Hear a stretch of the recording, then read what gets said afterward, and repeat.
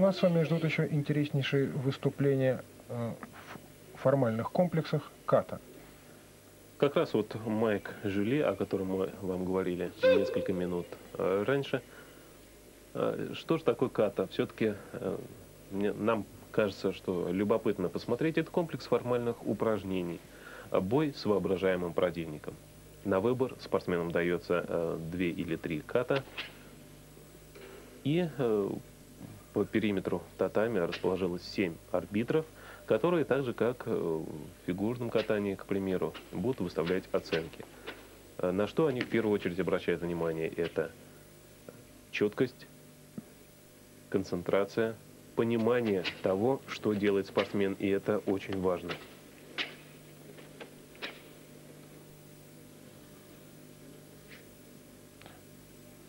По мнению мастеров карате, э, карате без ката не может быть. Ката имеют интересную историю по легенде, когда японцы захватили остров Окинаву, где и зародилось карате. Э, местные крестьяне, у которых отобрали оружие, начали заниматься карате. Вскоре японцы запретили и его. Э, таким образом, чтобы передавать другу знания, чтобы тренировать друг друга, при условиях, когда поединки были запрещены, крестьяне изобрели вот такие комплексы формальных упражнений, при помощи которых передавали друг другу знания. В каждом стиле существует множество э, ката, и чем выше пояс, чем выше дан, тем сложнее этот комплекс.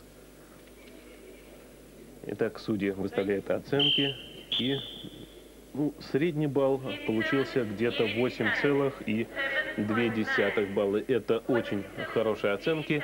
И Майк Жули, представитель Франции, получает золотую медаль в индивидуальном ката. На повторе очень хорошо видно, с какой концентрацией наносит он все удары.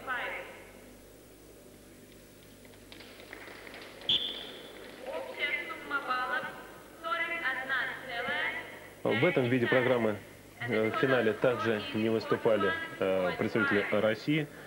Увы, пока мы э, мастерством в данном виде еще не можем похвастаться.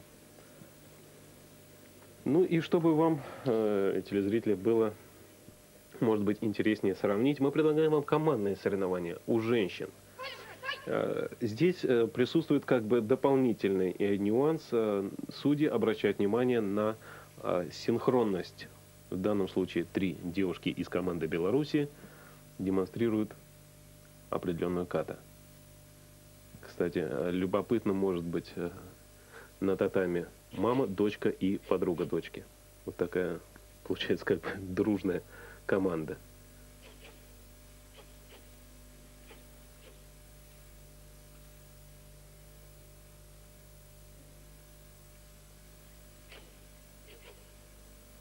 Очень четко, синхронно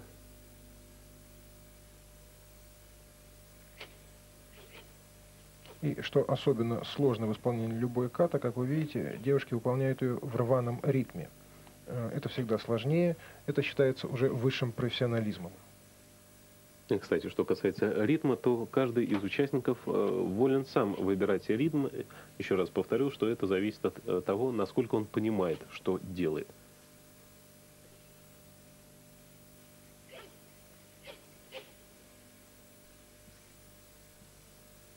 Спокойны, уверены в себе. Спортсменки из Беларуси.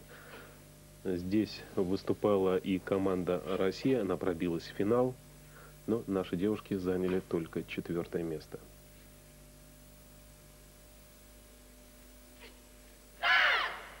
В аналогичных соревнованиях у мужчин э, победителем стала команда э, Австрии.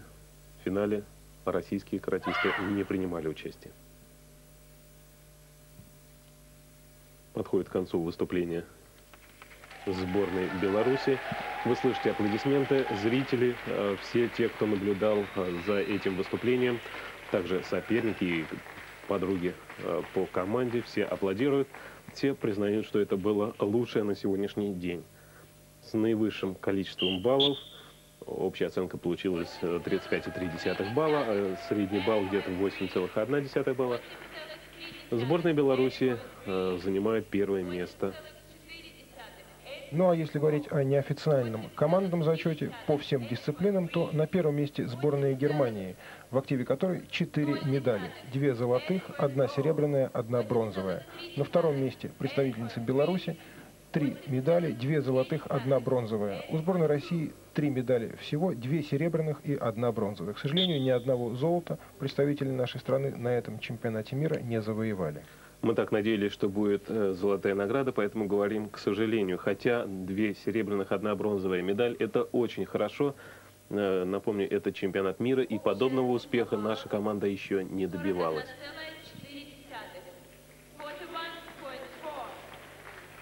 Итак, наш репортаж подходит к концу. Вы видите награждение – в данном случае это команда э, Белоруссии, девушки, которые только что исполняли кат.